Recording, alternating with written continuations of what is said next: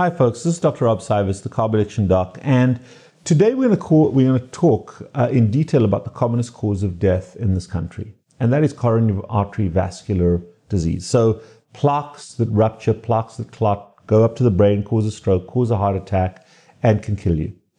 And the two primary, or the, the primary cause of plaque accumulation in the blood vessels is related to inflammation of the blood vessels and clotting.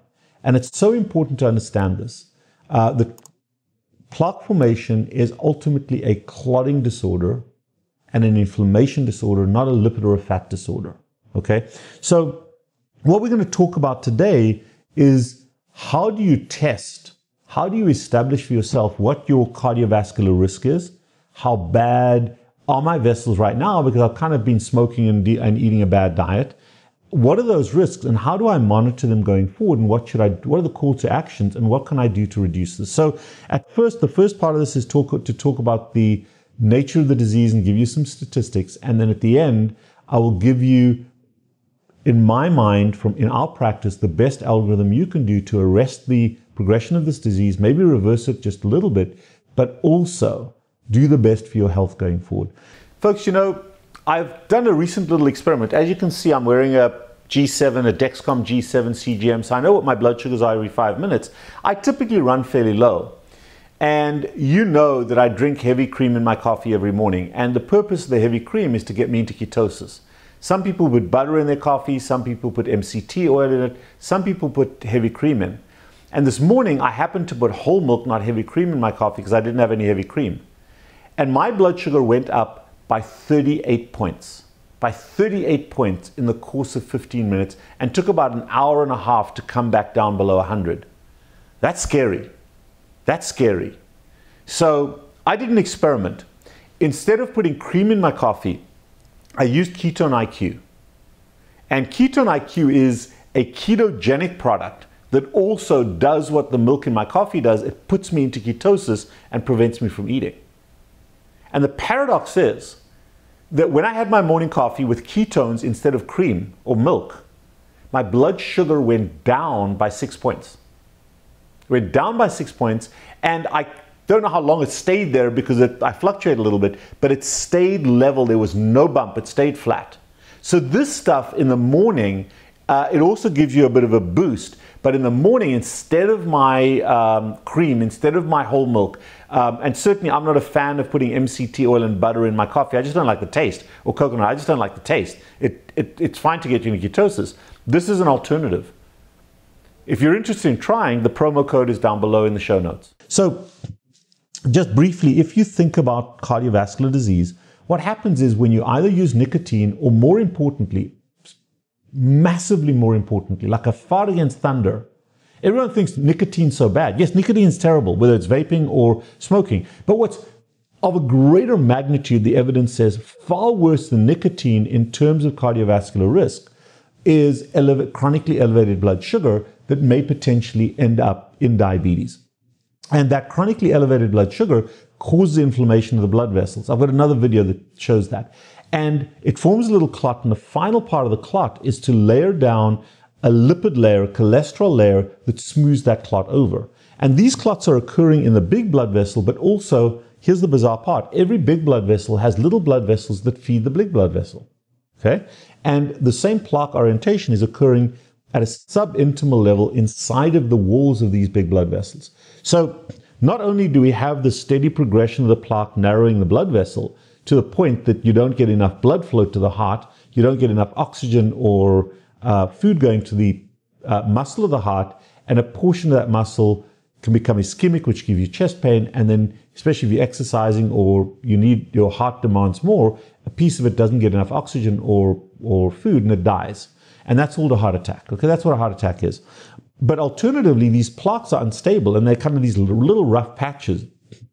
And if you think about uh, think about a tarred road where a tree root is growing under the tar. You've all seen it.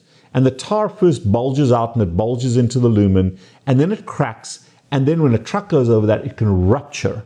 And then you've got a hole uh, in the blood vessel, so the clot forms, you can clot that vessel off.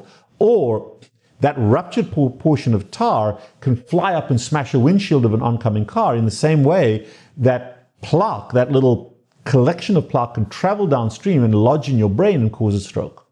So, simplistically, that's what we're talking about. So, we, we're talking about this, think literally of a tree root growing under a tarred road and it pushes it up, pushes it up, find a form a little crack. They come along, they seal up the crack, but they leave the bump there and then the crack forms again, and either it uh, the, the, the crack gets so high, the bump gets so high that it smashes cars, or a car, a truck drives over it, it ruptures and it flies off and can cause damage, which is the stroke or the distal heart attack. That's, that's what's happening in these blood vessels. And that is a response to the inflammation caused by elevated blood sugar levels or nicotine. And um, you can see from the slides over here, I've shown a beautiful progression of how this plaque slowly pro- progresses in your blood vessels. And I want to give full credit. I have stolen, I've taken, I've been given actually permission um, by a wonderful guy. Um, and, and you will love him from every perspective, from the top of his head that doesn't exist, all the way down to his accent. Uh, the guy's name is Ivor Cummins. Very controversial man, but I love him to bits. I disagree with some of the stuff that he puts out there, but I really like what he's done, and this is a talk that he has done on uh, Vimeo, V-I-M-E-O, and um, I will uh, I will leave in the show notes a link to this video. You can link to his CAC score video that he does with a guy called Gabor Erdosi. Neither of these two are, are doctors. They are engineers. I know Ivor is an engineer. So these guys are not medical doctors, but they tell a phenomenal biologic story of how plaques develop, and then they look at the data. And so the slides I'm sharing with you come predominantly from Ivor. And you sometimes see a picture of him in the top corner of some of these slides. I've left them there. But I love, love, love this talk and want to promote this because your cardiologist will not do this, folks. Your cardiologist will not, will not directly evaluate your plaque because they want you on a statin. And the statin does nothing to the plaque. Very, very little. So we'll talk about that in a second. So um, the test that we use as physicians, except for the cardiologist who refused to get this test done, although the test was created by a cardiologist called Arthur Agatston. And Art, uh, Art Agatston is a friend of mine. He lives down here in Miami. He's the guy that wrote the South Beach Diet, but he created the CAC score. What's the CAC score? It's a CT scan. So if you look at the next slide, you'll see a guy lying on a table. That's the CT scanner. It's a special type of x-ray of your chest and they look at calcium on the x-ray. Calcium is a white uh, uh, little mark on you, uh, in the blood vessel of your heart, and it can be seen on a CT scan. It's a simple CT scan, doesn't even require an IV. It's a non-contrast CT scan. You can't have, or you really shouldn't have, a CAC score done if you've already had a stent or coronary vessels. It's a different test we do for that. But for the majority of us, it's a monitoring tool, kind of like an X-ray uh, you spend a few minutes on the scanner and it, they calculate a CAC score. And here's what you want from your CAC score. Number one, you want the total score, the amount of plaque there is in your blood vessels. And the score will go from zero up, and we'll go through that score in a second. The second thing you want is the distribution of that calcium. So the calcium can be distributed in your left anterior descending vessel, in your circumflex. Uh, there are four or five vessels of the heart that they look at. Those are the two dominant ones. Um, the LAD, for example, is called the widowmaker. That's where uh, most of the plaque accumulates, but you may have RCA dominant disease. But you want to know is the disease spread out over all the vessels or is it all in one vessel? Because that affects risk as well. The next the two things you want to know, and often they don't, they don't report this, so you want to ask them to report this, is the density of the plaque.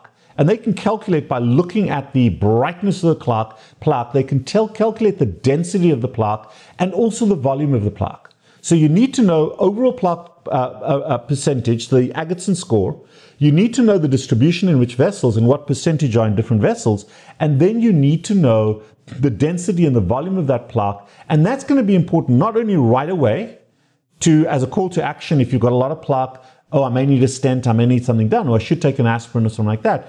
But also um, as a baseline uh, to follow in sequential CAC scores over time what's happening in your blood vessels. Is this thing progressing? Should I be worried? Is it arrested? Can I?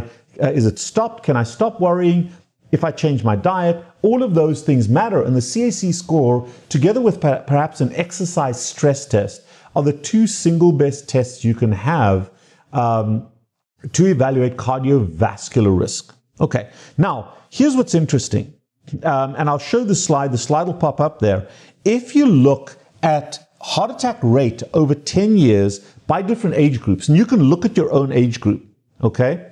Those people, and this is where CAC score counts. So I'm going to come back to this graph in a second. Before we go there, let me tell you what the CAC score means. If your CAC score is zero, you have no plaque. Mine is zero, for example, okay? And there is very low, not zero, but generally a less than 5% chance of developing coronary artery vascular disease over the next 10 years. And if you're not smoking, if you're not eating carbohydrates, and if you're obesogenic, that is by genetics, and you can't choose your genes, that's the best picture. That's going to give you a zero. Even if you've never smoked, you eat a low carbohydrate diet, but if you are genetically predisposed to hyperglycemia, if you are diabesogenic, not obesogenic, that puts you at a higher category of risk, and we can talk more about that on another video. Uh, and we will uh, with the next video. If your score is 1 to 10, it's a minimal amount. It's there's a little bit there, but it's pretty much zero. You can you can consider that to be about the same as zero. There's less than 10% chance it's going to propagate, and um, so for a zero, we recommend another scan in about 10 years. For a one to 10, we recommend a scan around five years is what I use, uh, especially if you're following a low carbohydrate diet, you're not smoking. Below 100 is low moderate disease anywhere below 100 is low moderate disease. The big issue with numbers below 100 is is the plaque distributed evenly throughout multiple vessels where you've got less than a 10% narrowing or is the plaque that that 1 to 100 score all in a very narrow very tight area I had a very close friend of mine. I'd done a video on this at the age of 48 was having some chest pain had a CAC score of 80 I've got another patient at 75 the, the cardiologist blew it off. I said dude go and get a study done. They got the study done. They had a very tight, narrow plaque, got a stent, and now they're fine. So um, you really want to look at distribution there. The next, uh, but but below 100, if it's evenly distributed, low score, I'd probably get another score in about three, uh, two to three years to see if there's any progression. Then you can delay or increase the frequency. But unless the distribution is in a very narrow area, no call to action.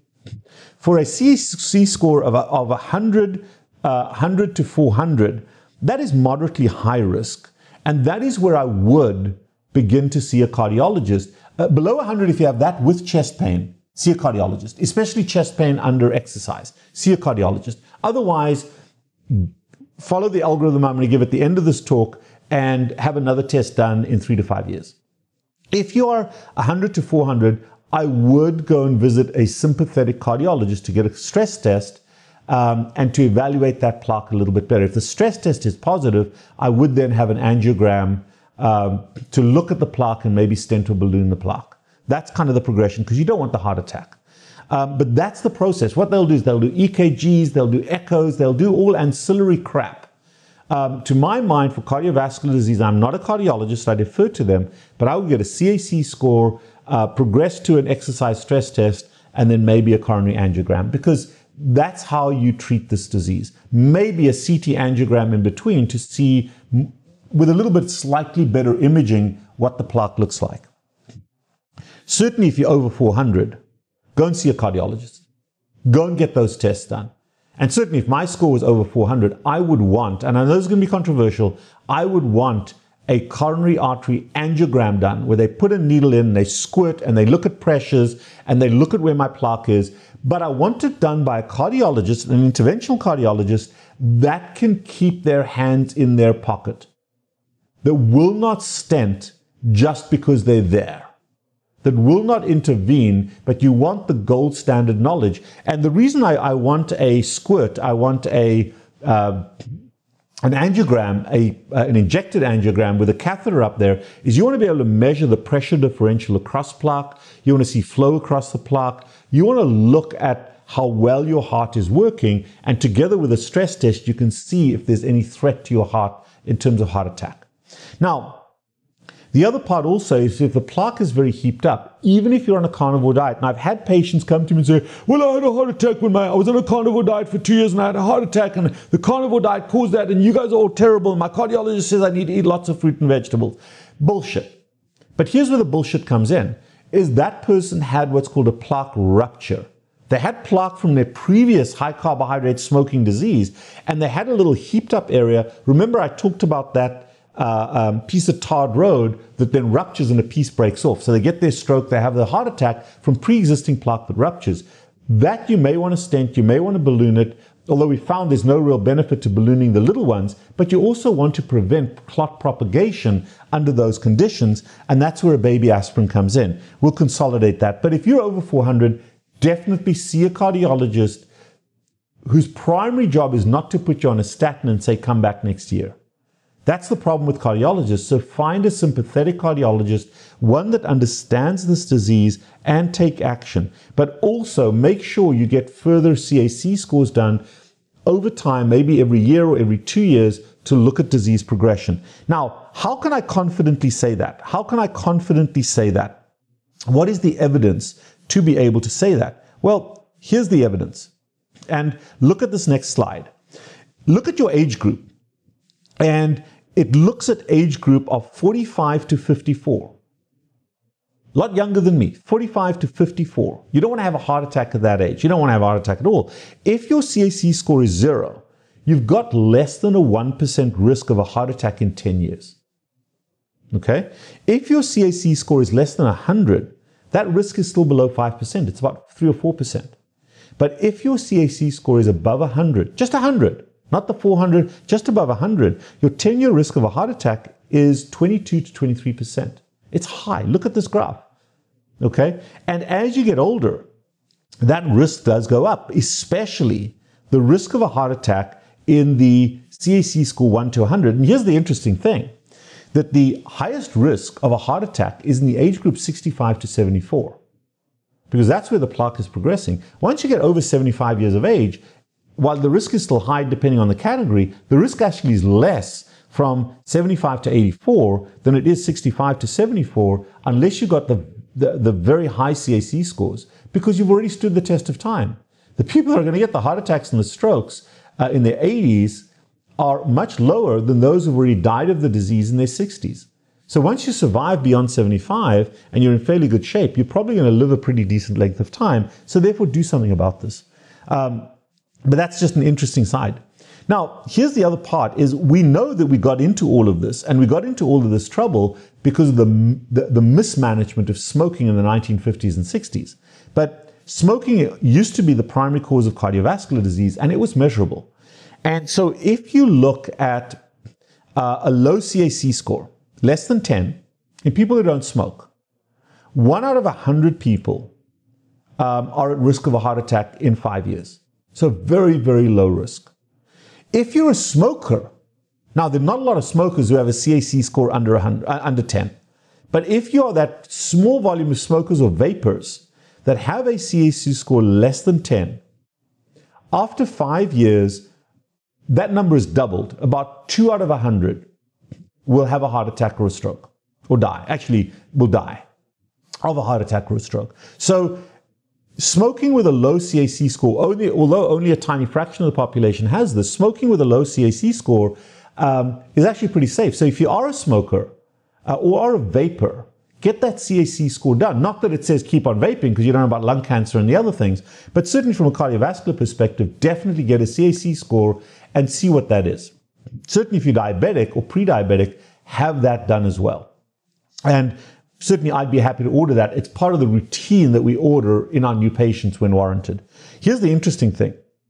Non-smokers, if you're a non-smoker and you have a CAC score higher than a thousand, irrespective of age, 12 out of 100 are going to be dead in five years of a heart attack or a stroke. So, irrespective of whether the score, uh, or at least sorry, excluding smokers. So if you have a CAC score above 1,000 and the primary cause of that high CAC score is diabetes, is elevated blood sugar, inflammation from elevated blood sugar, those are the people that get the score above 1,000. You have a 12% risk of a, dying, dying, not just having, but dying of a heart attack or a stroke in the next five years. And that is a problem. It, it kind of shows, it puts smoking into perspective. It doesn't negate it, but it puts into perspective. And in this next slide, you can see that if you have a low CAC score, yes, there is a significant increase in diabetics, but the risk of mortality uh, with a starting score of zero, whether you're diabetic or not, uh, is low, but the risk goes up if you're diabetic. However, if you have a starting CAC score of 400 and you're diabetic, the risk of a heart attack or a stroke over 15 years is through the roof enormous. It is horrible. So please, please, please treat that diabetes. And the thing you want to treat is your type 2 component, your hypoglycemic. Whether you're a type 1 or a type 2, the type 1s actually have insulin resistance. So it's the insulin resistance that you want to treat to zero. And then your risk comes down to that equivalent of non diabetics. But please, please, please, that's the call to action. And the action is two part. See the cardiologist to help to manage existing disease. If you need a stent or something like that, do not see them for medication or advice to reduce that risk. They know nothing about nutrition. They'll give you bad advice and they will not use the appropriate medication for the most part. That is where you want to partner with a metabolic health specialist that can help you to deal with your insulin resistance. So the partnership of cardiologists and metabolic health should be partnered tightly, not at loggerheads with each other. And I'm here to tell a cardiovascular story. I'm not going to do the cardiovascular technical work. At the same time, the cardiologist should be the technical work and the thinking about the specific heart disease, but shouldn't be giving you dietary advice and statins. That's just the way uh, that we think about this, and that's the issue. So the next uh, um, uh, side of things is that if you have a CAC score of 100 to 1,000, okay, you over the next 15 years, if you don't change anything, you are at a 50% risk of dying of a heart attack or a stroke. 50%. That is a massive incidence if you continue to live your life that way. So the likelihood is, uh, sorry, the, the score increases 15% per year. 15% per year if your score is 100 to 1,000. Plaque just increases. If you, if you change, if you make changes to your diet and the changes I'm about to recommend, you can reduce that risk over a 15 year course from 50%, 15% per year, down to 3%. 3%. Think about that, folks. You've gone from 50% risk to 3% risk if your score is 100 to 1,000 just by eating this way. Not zero, but you can radically lower it. So, what is the algorithm? And, and one of the things that, that just as a side as a side here, what happens? So why does that? Why is that the case? Yes, you're at risk for plaque rupture, but if the plaque, what happens with a plaque when you, when you reduce inflammation, and there are a variety of different things we use to reduce inflammation. We'll talk about them in the final part of this. What's your call to action? So, if you correct the cause of the problem, you get rid of the inflammation, the plaque stays, it doesn't go away. But the plaque becomes increasingly dense. It becomes more solid. It's less likely to rupture. It's less likely to be this big fluffy plaque. It becomes more solid. And so the plaque density increases and the volume decreases. So the number stays the same, may even go slightly down, but the plaque quality gets better. It's not the soft plaque that can just rupture. It becomes hard plaque. Like an old scar. You got you cut yourself, you got that fresh stuff. That's the progression, that's the dangerous plaque. But if it forms a solid scar, and it's this hard scar, that's the old disease, doesn't go away, but is a lower threat to you. So, what's the call to action? The first call to action is number one, if your score is above 100 and definitely above 400, reasonable to go and have a visit with a cardiologist, get an EKG, and get a, a, stress test. Preferably, if you can do it, an exercise stress test, if not a chemical stress test. And if there's any changes on the stress test, get a coronary artery angiogram where they go in through your groin or through your wrist and they inject dye because they can look at pressures and they can potentially intervene. But make sure it's not by a Yahoo cowboy guy. Make sure it's by a, a doc um, that can keep their hands in their pockets, that doesn't stent everything they see. But then at least you've got a baseline. And for those folks, I would get a CAC score on a regular basis. Now, what are the strategies that you can do yourself to lower your risk, irrespective if you're at a zero or at a thousand score? Irrespective where you are, what can you do to minimize your risk? Okay? Number one, number one, get blood work done. Come and see me, get blood work done. Because one of the things you want to know is are you obesogenic or are you diabesogenic? The obesogenic people have a much, much lower risk than the diabesogenic. You can be thin and healthy, you can be extremely fit and have a heart attack because you are diabesogenic. And, and, and I know this is going to sound horrible, but it's not uncommon to see that person, that body floating in the water during the swim part of a triathlon, where that very healthy person doing Ironman had a heart attack in the water. Okay, why? Because they're obeso, because they're diabesogenic and they hadn't had their CAC score done. So the first thing is get the blood work done. Come and see me. We will get that blood work done and we'll analyze it for you so you can know what that starting risk is. Because if you're diabesogenic and your risk is a and your score is a 50 or an 80, I would still be more aggressive about following you and tracking you. If your score is a zero or even if it's a 40 or a 50, but you're obesogenic, the risk is lower. There are other risks. So understand that. And most doctors out there, even in our space, doesn't understand that genetic risk stratification based on insulin production. Watch the next video that I'm about to record and will release after this one that explains that. So the therapy, number one, a low carbohydrate ketogenic diet. Whether it's more on the plant based, whether it's more animal based, I don't care. Plants and animals together, but getting rid of carbohydrates and increasing your fat consumption and with that, I'm going to say this, increasing your salt consumption. Okay? So the single best thing you can do is to lower your blood sugar, lower the inflammation, and to get your A1C at 5.2 or lower, where your A1C is no longer an inflammatory risk to your blood vessels. So, number one, ketogenic diet. Number two, some form of physical activity as a an intentional mandate every day to the extent you can. Oh, I can't exercise. I've got bad knees. Bullshit. There's nothing wrong with your hands, if, and especially if you're fat. Believe me, you do lots of exercise, but it doesn't count, okay? So call yourself out on that. And I didn't use the word exercise, it's physical activity to whatever extent you can do, and frequency has greater value than, uh, uh, than intensity. And I said that. The HIIT training, all that kind of thing, absolutely fine to do, but don't think it's better Think of that float, that guy floating in the in the water on a triathlon. He's probably an endurance and HIIT athlete anyway, versus somebody who does physical activity, walks their dog on a regular basis. Okay? Because it's not just the physical exercise, it's the hormonal exercise that's important as well. So physical activity is the second thing you can do. Third thing, no statins. Don't take a statin.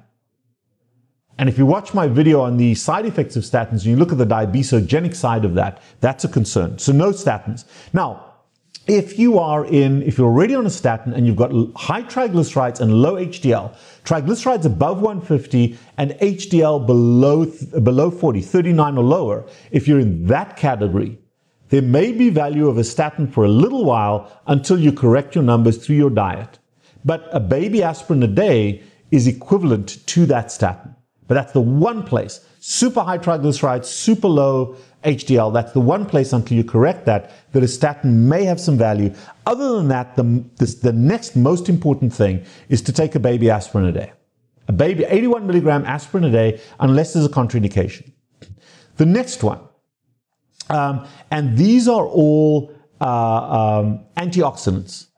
Make sure that your uric acid levels are not too high but not too low make sure that you are on a 3 omega fatty acid, 3 omega fatty acid with at least 500 milligrams of DHA in it every day. Make sure you're taking some MCT oil or coconut oil. The MCT oils, coconut oils with the 3 omega fatty acids are the best cardiovascular fats you can get in take vitamin D3 or make sure your vitamin D3 levels by blood work are between 40 and 80 and that your calcium levels are between 9.5 and 9.8. If your vitamin D levels are low, D3K2, which affects the clotting system and affects repair of the blood vessels, um, make sure you get on the vitamin D3 supplement. And sunshine, those walks in the sunshine, we come back to the exercise, all of this folds into each other. Sunshine is also one of the best weapons, but check your vitamin D numbers and make, their, make sure they're okay.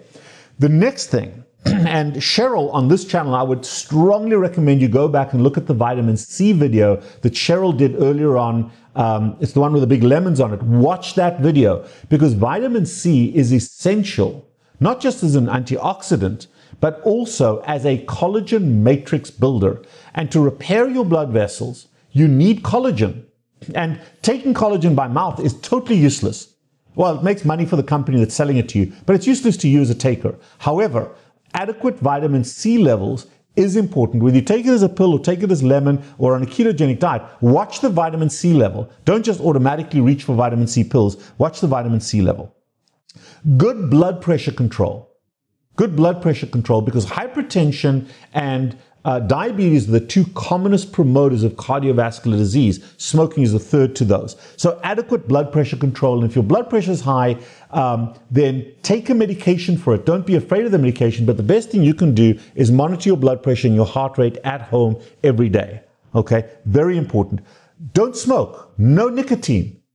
Nicotine together with carbohydrates is the worst combination. Stop smoking. Get on a smoking cessation program, including vaping. Vaping is not smoking cessation, it is smoke ongoing. Stop using nicotine products. If you want to use some marijuana, I'm okay with that, but I probably wouldn't smoke it. Probably wouldn't smoke it. I don't have a strong evidence on that. Um, not a big fan of marijuana, but certainly if, if, it works for you, use it, but get off the nicotine.